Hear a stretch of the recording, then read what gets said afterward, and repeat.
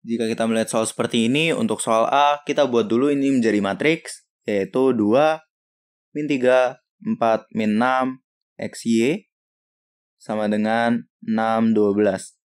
Di sini kita ambil koefisien-koefisiennya dan juga variabelnya. Lalu kita akan mencari determinan dari matriks asal, yaitu 2, min 3, 4, min 6. Ini akan sama dengan AD min BC, yaitu 2 dikali min 6, min min 3 dikali 4 sama dengan 0. Lalu karena kita punya X sama dengan DX per D dan Y sama dengan DY per D dan D sama dengan 0, A tak terdefinisi.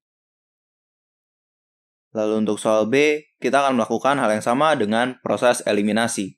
Pertama dari 2x min 3y sama dengan 6, kita dapatkan X sama dengan 6 plus 3Y per 2.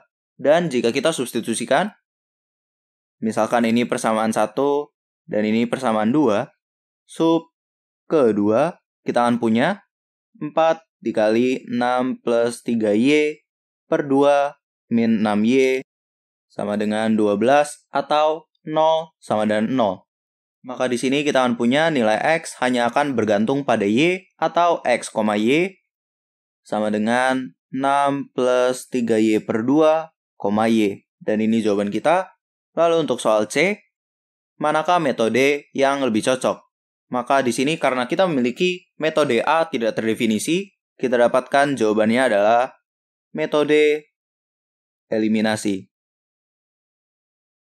Untuk soal D, kita cari dulu pembuat nolnya. Untuk persamaan pertama kita punya 2x min 3y sama dengan 6 saat x 0 maupun y 0. Kita punya x 0, y-nya min 2, dan y 0, x-nya adalah 3. Lalu kita punya persamaan 2 juga, 4x min 6y sama dengan 12. Kita punya di sini saat x 0, y-nya adalah min 2, dan saat y 0, x-nya adalah 3. Maka di sini kita lihat kita memiliki hal yang sama.